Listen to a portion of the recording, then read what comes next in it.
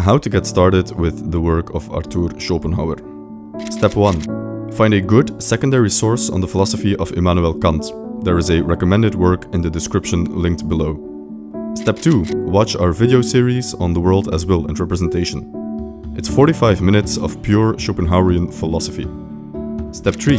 Read The World as Will and Representation, and then read it again. Schopenhauer recommends you read his work two times in order to fully understand it.